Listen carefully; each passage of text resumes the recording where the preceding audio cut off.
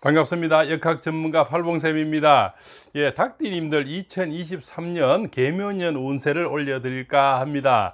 닭띠님들 참, 저, 지, 뭡니까, 우리 지난 3년 동안, 그죠? 예, 어, 2021년까지, 그죠? 19년, 20, 21년 3제를 겪어오면서 수많은 고난의 행군 또 하신 분이 많죠. 예, 거기다가 부부 이별이라든가 사업체 또 이렇게 건강적으로, 그죠? 또 자식하고 불화, 또 다쳤어, 또 이렇게 질병적으로, 그죠? 거기서 우리가 지금 우크라 전쟁처럼 그것을 우리가 도병제라 그럽니다. 현재 와 있는 코로나는 영여제가 되겠죠. 그리고 우리 기근제는 지금 자영업이와 이런 사람이 어려운 사람이 많지 않습니까? 이것을 우리가 기근제라 그럽니다. 그것을 다 겪고서 2022년 그래도 많이 그렇게 회복이 하셨죠. 그 중에서도 많이 회복된 거 적게 회복된 분이 있는데 그 차이는 뭐냐면 대운의 차이가 있고 또 생년 월일에 이 뭡니까? 봄 여름 가을 겨울에 태생의 차이도 있습니다. 그래서 복삼재가 있고 악삼재가 있고 이런 겁니다. 그래서 다 좋을 수도 없고 다 나쁠 수도 없는 거죠 그래서 2022년에 많은 회복을 하면서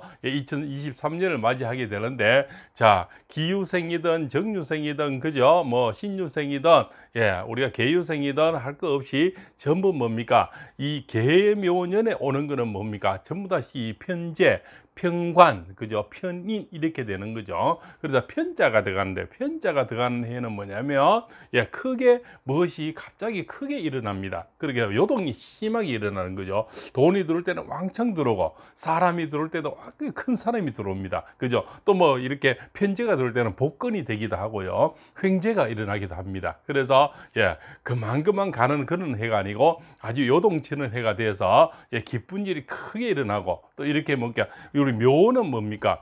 묘는 우리가 이 도화살이죠. 그죠? 그럼 기유생, 그죠? 이 뭡니까? 정유생, 이 전부 다 뭡니까? 신유생, 개유생, 이 묘는 뭡니까? 닭이기 전에 또 도화라 그러는데, 도화가 도화살을 맞이하니 화려한 일이 많이 발생이 됩니다. 그것은 여행이라든가 그죠? 무슨 나를 꾸미는 거라든가 내가 어디 당선되다든가 내가 합격을 한다든가 어디 어디 내가 뽐내는 이런 일이 상당히 많이 일어나는 거죠.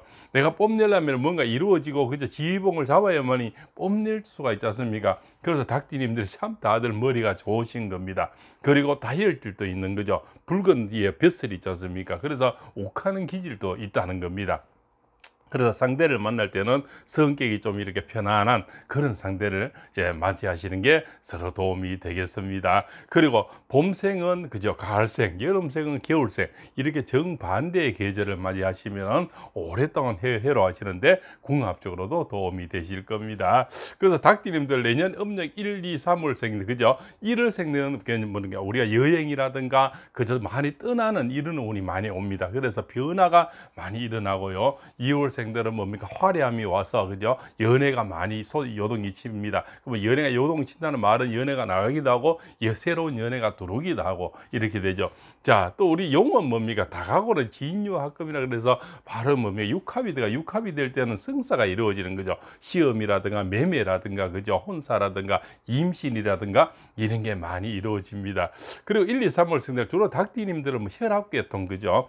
두통, 눈질환 이런 게 뭐 머리 쪽으로 목으로 예, 목병도 많죠. 이런 질환이 많으니까 목과 머리에 좋은 거, 눈에 좋은 거 이런 거를 뭐 결명자도 해당이 되겠죠. 좀 이렇게 많이 드시는 것도 도움이 된다. 이렇게 볼 수가 있습니다. 또한 이 봄가을에 그죠 이렇게 초록을 많이 보면서 단풍놀이 같은 거 많이 하시고요. 또 이렇게 들판을 달려 보면은 여러 가지 녹색을 많이 보시면은 머리 회전이나 또 눈 건강에도 상당히 도움이 되리라 봅니다. 또 이렇게 다리 관절이 아프거나 발이 아픈 분들은 자전거를 타서 좀 많이 다니다 보면은 스트레스 해소라든가 또 눈 건강에 상당히 도움이 되리라 봅니다.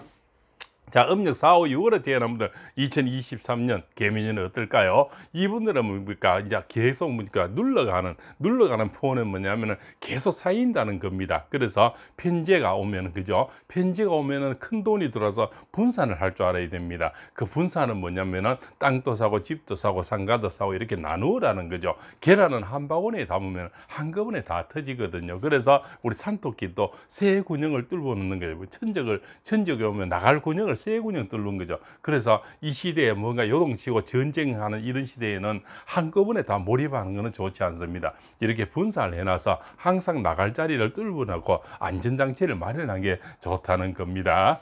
그래서 음력 4, 5, 6월생에는 주로 혈압계통이 많아요. 심장계통, 우울증, 화합병 이렇게 거의 감정기복이 심하거든요. 그래서 검은 거를 많이 드세요. 검정콩, 검정살, 검정 그죠? 뭐 깨 이런 거 많이 드시고 검은 옷을 많이 입으시고 또한 저 물가에 투자를 하십시오. 물 가까운데 사시는 곳에서 한강이든 뭐 어디 뭐 실개천이든 그죠? 뭐 어느 천이든 간에 그 가까운 데서 물 가까운 데 투자를 하시면은 상당히 도움이 되리라 봅니다. 이것을 우리가 예, 뒤에 산을 등지고 앞에 물이 보이는 것을 배산 임수라 합니다. 그런 곳에 투자를 하시면 큰 이득이 있으리라 봅니다.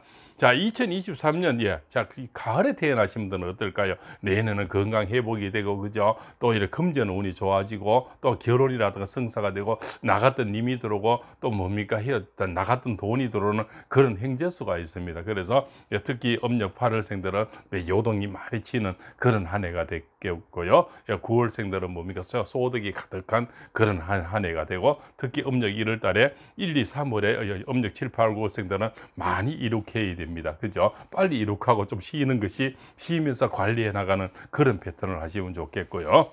음력 7, 8, 9호생들은 주로 관절염이 많습니다. 뼈, 그죠? 뼈 신경통 이런 게 많거든요. 그래서 그런 게 좀 이렇게 많이 걷는 거라든가, 그죠? 또 많이 산행이라든가, 뭐 자전거라든가 이런 거를 많이 활용을 하시면은 뼈 건강에 좋은 또 이렇게 뿌리 음식을 겨울에는 뿌리 음식을 많이 드십시오. 뭐 찔레 꽃, 뭐 찔레 뿌리도 있죠, 그죠? 이런 뿌리 음식에서 관절염이라든가 웃설도 있죠. 그 다음에 우리 골세보도 있고요. 뼈에 좋은 것을 이 가을, 가을이나 겨울철에 많이 드셔야 또 여름에 이렇게 효과가 나는 것입니다. 이런 약재라는 것은 금방 이렇게 먹어서 효과가 나질 않거든요. 그런 걸 이렇게 더 꾸준히 드시면 도움이 되지 않을까. 우리가 뭡니까? 우리 만개뿌리 그러죠. 토복령, 그죠? 몸속에 중금속을 다 이렇게 배설을 해주니까 몸이 회복되 려면 중금속이 나가야 되거든요. 그래서 이걸 토복령이라고 합니다. 만개뿌리, 그 찔레뿌리, 그죠? 그 다음에 뭡니까? 골세보, 웃설, 이런 것들이 대충 대부분 뼈에 좋은 그런 거죠. 예. 이런 것들을 복용하시면서 힘차고 건강하고 소득이 가득한 2023년 되십시오. 자, 음력 10월, 11월, 12월에 태어난 분들은 뭡니까? 음력 1, 2, 3월부터 굉장히 속도가 빨라집니다. 왜? 이분들이 그 3재 동안 굉장히 힘든 분들이라거든요. 19년, 20년, 21년, 그죠? 엄청나게 힘든, 그래서 2022년도에 조금 회복이 됐는데, 올해도 이제 연장선이 있습니다. 그것이 2022, 2023, 2024까지 계속 이렇게 연장선이 있어서 음력 이 겨울에 태어나신 분들은 많이 경제적으로나 건강적으로 또 부부적으로 또 연애적으로 쪽으로도 많이 회복되리라 봅니다. 또 지난 2022년에도 많이 회복이 됐죠. 그 연장선에서 더욱더 업그레이드해서 많이 회복되리라 봅니다. 그래서 우울증이라든가 화합병 그죠? 또 이렇게 뭐 공황장애 이런 게 많죠. 예, 그래서 햇빛을 많이 보시고요. 비타민제도 많이 복속 복용하시고 또 햇빛 속에도 우리가 비타민이 있다 하지 않습니까? 그래서 햇빛을 많이 보시는 게 겨울생들은 상당히 도움이 됩니다. 옷도 이렇게 붉은 옷이라든가 핑크색이나 밝은색 옷을 많이 입으시고 드시는 것도 붉은색을 많이 드시죠. 복분자, 구기자, 어미자 전 붉은색이죠. 이런 걸 많이 드시면은 겨울생들은 상당히 도움이 됩니다. 그리고 2023년도에는 예, 금전 운이 가득하리라 보고요.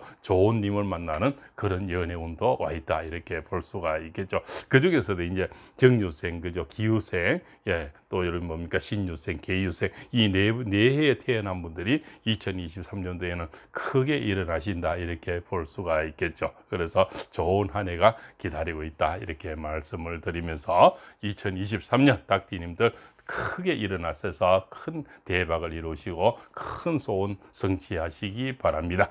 자, 지금까지 팔봉쌤이 2023년 닭띠 운세를 올려드렸습니다. 예, 다음에 또 닭띠님들 2024년 또 매, 매달 운세를 올려드리고 매일 운세를 올려드리니까 팔봉쌤이 함께 하고자 하면은 구독, 좋아요, 알림 하셔서 예, 좋은 인연 맺어보시죠. 낮은 자세로 정진하여서 더 높은 수준 높은 예, 운세풀이로 다가올 것을 약속드립니다. 장시간 시청해서 대단히 감사합니다.